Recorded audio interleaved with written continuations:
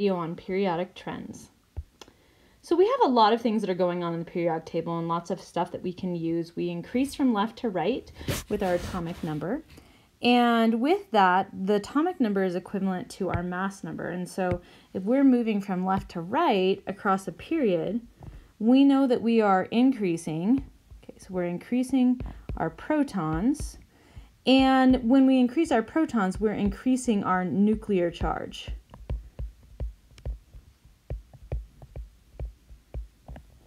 Now, with that, it's important to notice that in that same period that we're in, the electron distance say, stays the same for that particular period. So the effective nuclear charge actually increases as well from left to right. So electron distance is the same across the period.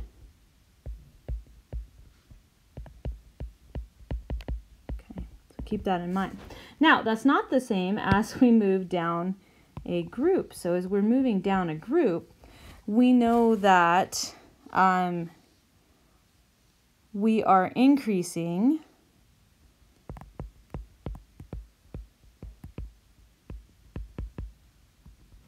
um, distance electrons are from the nucleus. Okay, so we have those principal quantum numbers um, or energy levels.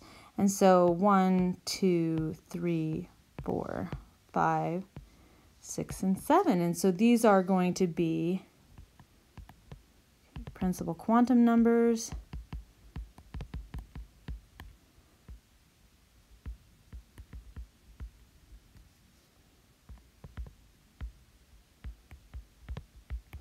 Is the fancy term for it, but I think of them more along the the lines of energy levels.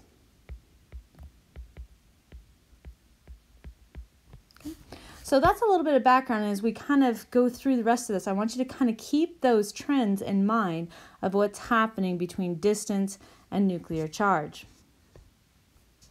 So we've already taken a look at electrostatic attraction a little bit with Coulomb's law and we know that opposite charges attract and same charges repel. And if we have a greater force of attraction or repulsion, if there's either a greater amount of charge or closer proximity of the charged entities. And so when we go back and we think about what's going on with the periodic table in conjunction with charge amounts versus charge proximity, that's where kind of all of these different trends are originating from is the interactions. Now it becomes a little more problematic because we have lots of protons and, and electrons that are going to be interacting. So let's talk about ionization energy first, which is the energy to remove an electron from a gaseous atom or ion. And so with ionization energy, um, we are going to have this overall trend that says that ionization energy is going to increase. So my arrows represent increase from the bottom to the top. Okay. And then from the left side to the right side across a period. So bottom to top for a group and then left to right. And so we're increasing ionization energy. And so that means that over in this corner we should have the greatest. And then down in this corner we should have the least. Okay, so that's the overall trend. Now something interesting happens here that we see a couple different odd um, or things that, that go against that in a couple places. So one of them is if you're moving from the 2A column to the 3A column, okay, so exceptions.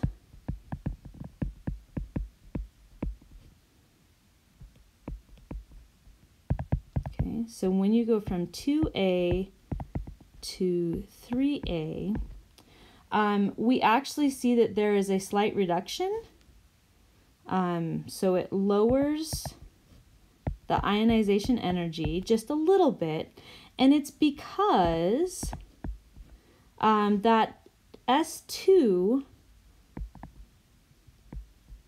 um, those two electrons in the s is going to shield or block some of the nuclear charge access to that first P, um, the P1. So shield P1 electrons. Okay. So that's that first exception. The other exception that we see is between the 5A and the 6A position. So for example, between nitrogen and oxygen. Okay, so from the 5A to 6A, we see a slight decrease in ionization energy as we move that direction. And this one is because um, the we end up with an ele- extra electron that double occupies because double maybe I should say the first oops, first double occupied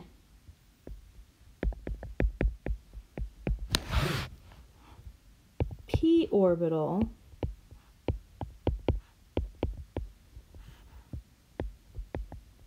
causes extra electron repulsion. So anytime you have a little more electron repulsion, you have a little bit less ionization energy there. Direct trend is on electron affinity. And that's the energy change due to adding an electron to a gaseous atom. So this is kind of the opposite of what we were just looking at with ionization energy. Um, ionization energy is the amount of energy required to remove an electron. That's a positive value. This is actually a negative value. We actually release energy if there is um, an electron being added. So just in case you see those numbers and they don't make sense.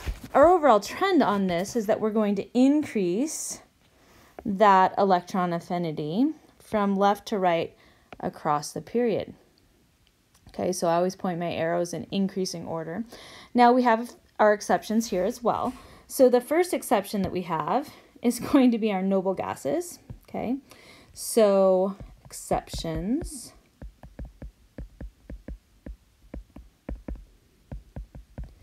So our noble gas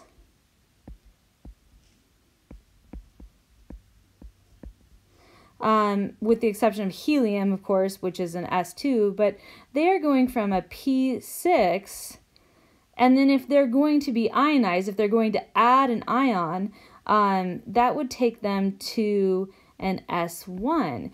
And so it wouldn't really do that because um, that P6 is going to shield. So to bounce all the way up to this, that doesn't really happen. Okay, so their value is actually going to be zero we would say this doesn't really occur. Okay, so that's not going to happen. The next exception that we see is going to be, grab a different color here, um, beryllium, um, or the 2A column. So in everything in the 2A column, what happens is those are in the S2 position, okay? So these are going to be our alkaline earth metals. And so they are going from an S2. In order to actually add another ion, we would end up in a P1. And so to jump up to that next energy level, that also is not something that we see happen. Okay. Um, and then the last one is going to be, we'll grab this color here, grab some red the 5A's. So everything that's in the 5A's, okay, so 5A or the nitrogen group, okay, they're going from a P3 to a P4. And remember, when they try to doubly occupy, it, so this one here is going to be doubly occupied.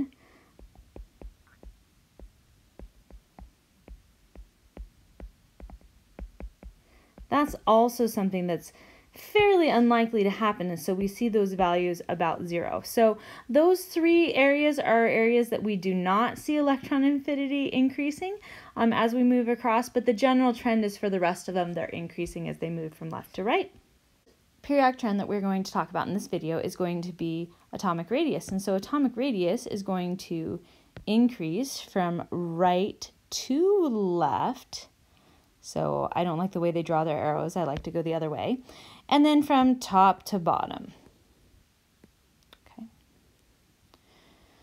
And so I like this picture because it kind of shows the relative sizes of things. Remember that hydrogen um, is going to be also very small in comparison with helium.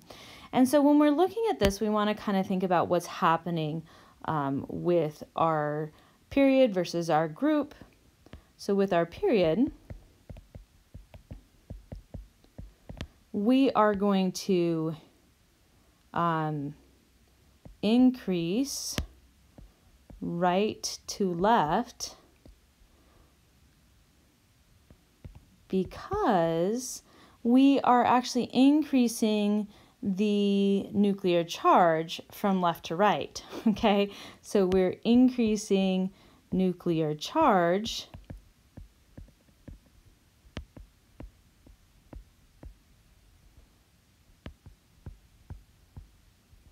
from left to right,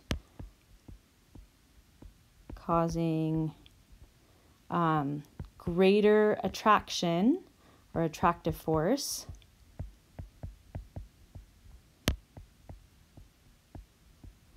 And smaller atoms. Okay. Um, and all the way along that, we are not increasing our distance away from the nucleus. And so that's why the governing factor is going to be that nuclear charge. Okay. As we're moving down a group, even though we're increasing our nuclear charge, we're actually um, also increasing the distance away. And so as we move down, okay, so let me see if I can do this here, down a group, um, we are going to increase top to bottom,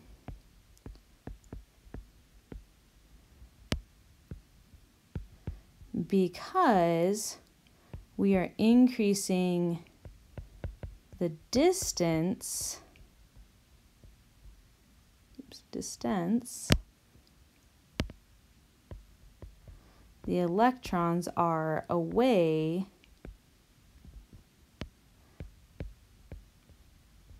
from the nucleus,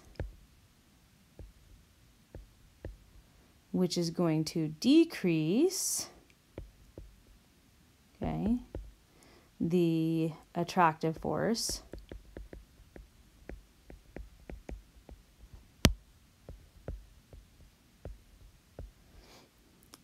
And we get larger atoms.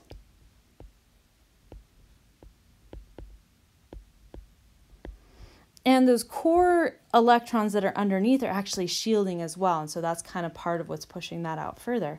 And so that trend is really governed by the distance that the electrons are away. And so that's something to go back and take a look at in accordance with Coulomb's law. And we see that that follows along with that trend. We'll take a look at a few more trends when we look at some bonding things as well and um, valence electrons in the next video.